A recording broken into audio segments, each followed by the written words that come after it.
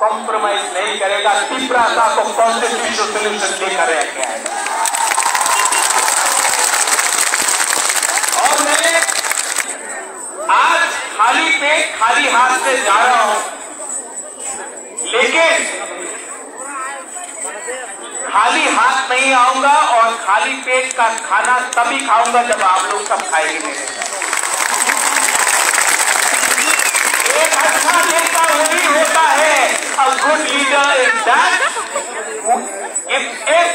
does good first and eat last एक अच्छा नेता वही होता है जो सबको पहले खाना देता है और आखिर में खाता है। मैं पहले आपको सबको दूँगा उसके बाद अपने बारे में चिंता करो। I love you